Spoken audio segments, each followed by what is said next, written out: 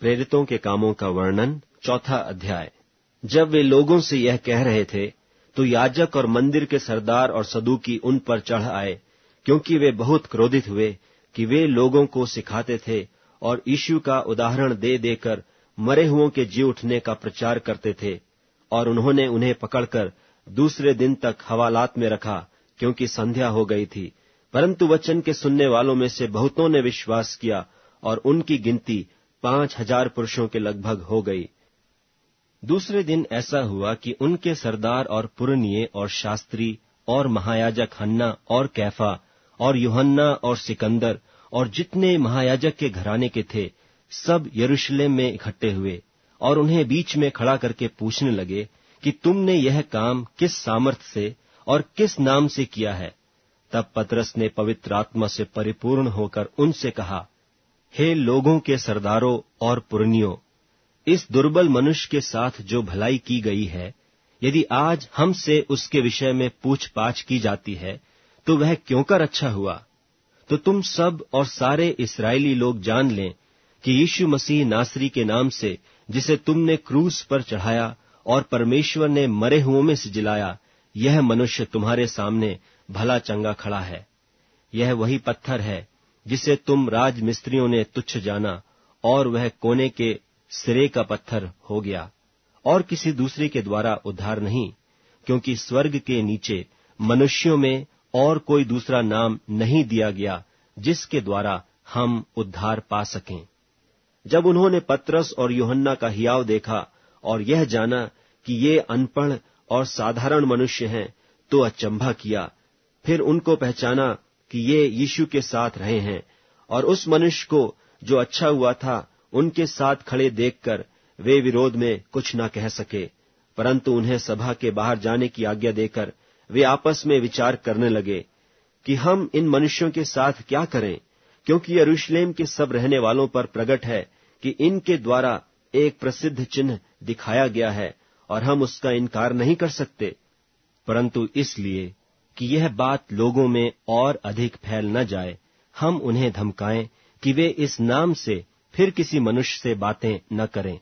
तब उन्हें बुलाया और चितौनी देकर यह कहा कि यीशु के नाम से कुछ भी न बोलना और न सिखलाना। परंतु पत्रस और योहन्ना ने उनको उत्तर दिया कि तुम ही न्याय करो कि क्या यह परमेश्वर के निकट भला है कि हम परमेश्वर की बात से बढ़कर तुम्हारी बात माने। क्योंकि यह तो हमसे हो नहीं सकता कि जो हमने देखा और सुना है, वह न कहें। तब उन्होंने उनको और धमकाकर छोड़ दिया, क्योंकि लोगों के कारण उन्हें दंड देने का कोई दाम नहीं मिला। इसलिए कि जो घटना हुई थी, उसके कारण सब लोग परमेश्वर की बड़ाई करते थे, क्योंकि वह मनुष्य जिस पर यह चंगा करने का चिन्ह दिखाया गया था, चालीस वर्ष से अधिक आयु का था। वे छूटकर अपने साथियों के पास आए और जो कुछ महायाजकों और पुरनियों ने उनसे कहा था, उनको सुना दिया। यह सुनकर उन्होंने एक चित्त होकर ऊँचे शब्द से परमेश्वर से कहा, हे स्वामी, तू वही है जिसने स्वर्ग और पृथ्वी और समुद्र और जो कुछ उनमें है बनाया। तूने पवित्र आत्मा के द्वारा अपने सेवक, हमारे पिता दाऊद के मुख से कहा कि अन्य जातियों ने हुल्लड़ क्यों मचाया? और देश के लोगों ने क्यों व्यर्थ बातें सोची? प्रभु और उसके मसीह के विरोध में पृथ्वी के राजा खड़े हुए और हाकिम एक साथ इकट्ठे हो गए, क्योंकि सचमुच तेरे सेवक यीशु के विरोध में, जिसे तूने अभिषेक किया, हेरोदेस और पुंतियुस पिलातुस भी अन्य जातियों और इसराइलियों के साथ इस नगर में इकट्ठे हुए कि जो कुछ पहले से तेरी सामर्थ और मति से ठहरा था, वही करें। अब हे प्रभु उनकी धमकियों को देख और अपने दासों को यह वरदान दे कि तेरा वचन बड़े हियाव से सुनाए और चंगा करने के लिए तू अपना हाथ बढ़ा कि चिन्ह और अद्भुत काम तेरे पवित्र सेवक यीशु के नाम से किए जाएँ। जब वे प्रार्थना कर चुके तो वह स्थान जहाँ वे इकट्ठे थे हिल गया और वे सब पवित्र आत्मा से परिपूर्ण हो गए और परमेश्वर का वचन हियाव से सुनाते रहे और विश्वास करने वालों की मंडली एक चित्त और एक मन के थे।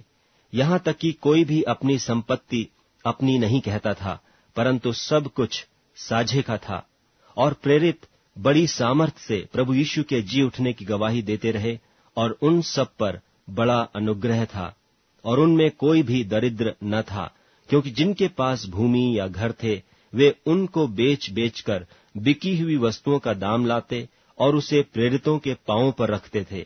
और जैसी जिसे आवश्यकता होती थी, उसके अनुसार हर एक को बांट दिया करते थे। और यूसुफ नाम कुपरुस का एक लेवी था, जिसका नाम प्रेरितों ने बरनबा अर्थात शांति का पुत्र रखा था। उसकी कुछ भूमि थी, जिससे उसने बेचा और दाम के रुपये लाकर प्रेरितों के पांवों पर रख दिए।